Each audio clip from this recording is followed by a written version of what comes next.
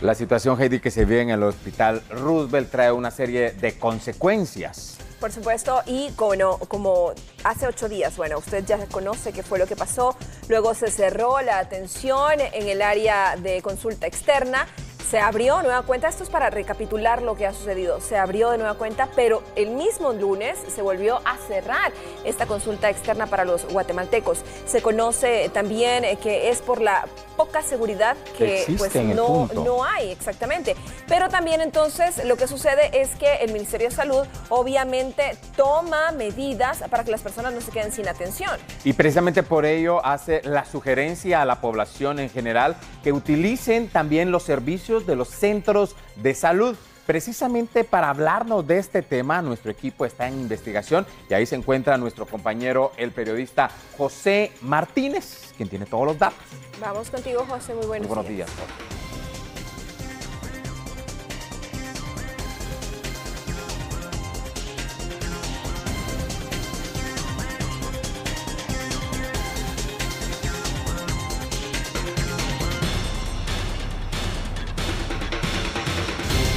Bueno, en lo que contactamos a José Martínez, vea usted este recuadro que tenemos, que ofrecemos a usted en pantalla. Salud más cerca de su casa es lo que dice el Ministerio de Salud Pública y Asistencia Social. Si usted asiste al Hospital Roosevelt, también puede ir a sus consultas a centros de salud que le queden más cerca.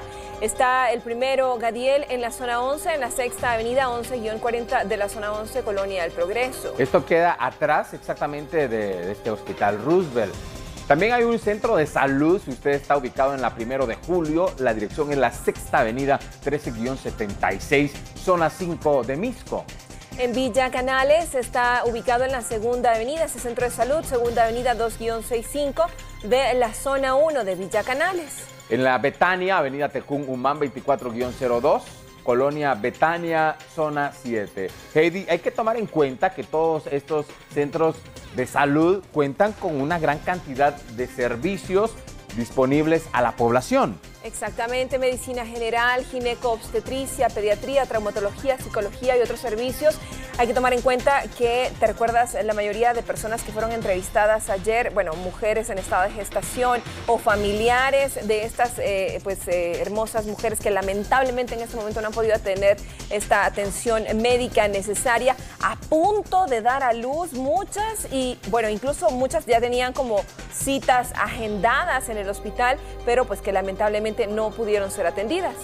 Bueno, y precisamente por ello tenemos más puntos para que usted pueda ubicarse. Recuerde que el centro de salud hay en las distintas áreas y en las distintas colonias. Vamos a la zona 1, en la décima avenida 14-00.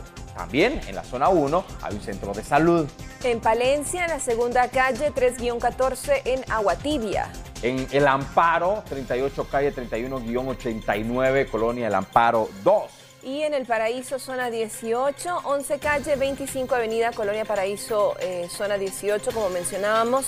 Estos son los centros de salud que puedan estar más cercanos a su vivienda para evitar llegar al Hospital Roosevelt en lo que se solventa la situación y que, bueno, ya de forma permanente pues sigan atendiendo. Recordemos que en el interior de la República, en las distintas localidades, también se encuentran centros de salud que le brindan estos servicios, como mencionábamos anteriormente, medicina medicina general, obstetricia, pediatría, Heidi. Traumatología, psicología y nutrición son los servicios pues, que, con los que cuentan estos centros de salud. Conozca usted entonces las direcciones que hemos mencionado para que eh, pues, de alguna forma usted asista y se evite llegar al Hospital Roosevelt en donde todavía no hay atención